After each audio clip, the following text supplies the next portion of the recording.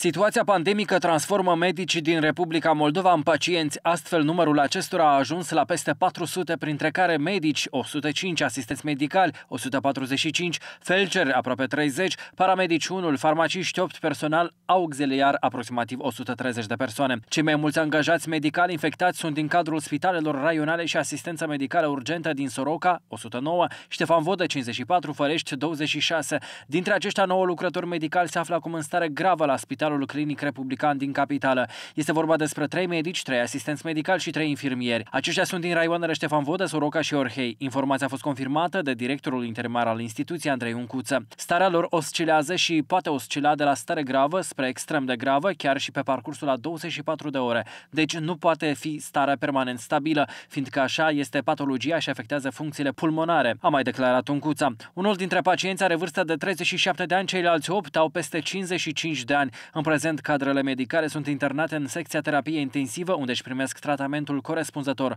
Potrivit lui Uncuță, niciunul dintre ei nu este conectat la aparatul de ventilare artificială a plămânilor, dar acesta a menționat că situația se poate schimba de la o oră la alta. Între timp, primarul general al Chișinăului, Ion Ceban, a anunțat că toți medicii care activează în capitală urmează a fi testați la infecția cu noul tip de coronavirus, începând cu ziua de 13 aprilie, precizând că în acest proces va fi implicat laboratorul unei clinici private din Chișinău.